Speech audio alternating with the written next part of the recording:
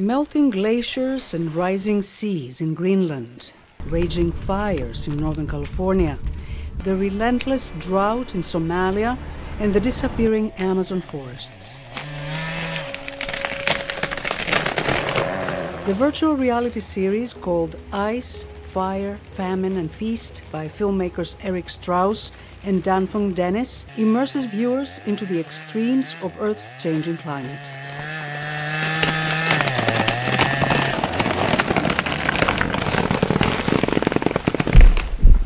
Hopefully when someone watches the whole series drives home this idea that there's no hiding from this. This is coming for all of us.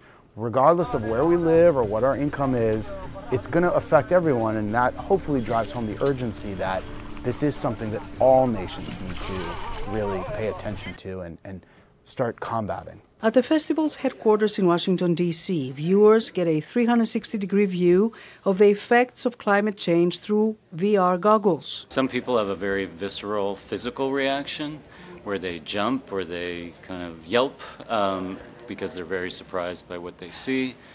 And other people, I think, are very reflective and you know can even be sad depending on the content.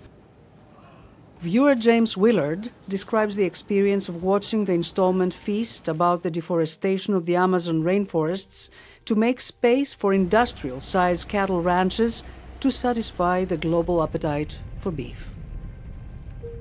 You're completely immersed in this whole situation in this whole story. You're facing these animals eye to eye and watching them as they're marching basically towards their death. The film needs no dialogue. Virtual reality is about experience. It's actually kind of stripping away a lot of the information, putting you in environments that you then experience for yourself. You're much more of a protagonist in some way in these types of stories than you would be in a, in a traditional form of cinema. Another viewer, Patricia, has just watched Famine the episode that looks at the effects of extreme drought in Somalia. It's, it just makes it even more um, powerful because you feel like you're there. And I think it's a great medium to spread the word on critical subjects. That is the goal to, to affect change, to affect positive change. VR films are becoming more accessible as the technology evolves and are often viewed on smartphone applications.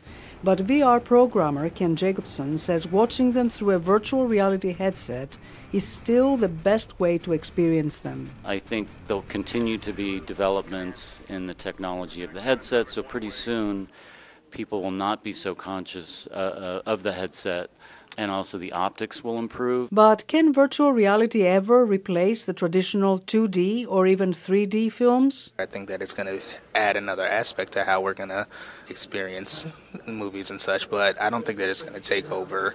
Virtual reality, I feel like, can be very dangerous at times because you're completely immersing yourself within this story. Some people will be able to take it and then take off the goggles and then live life as normal, but some people might not be able to do so. So, yeah, I don't think it's going to completely take over. Penelope Poulou, VOA News, Washington.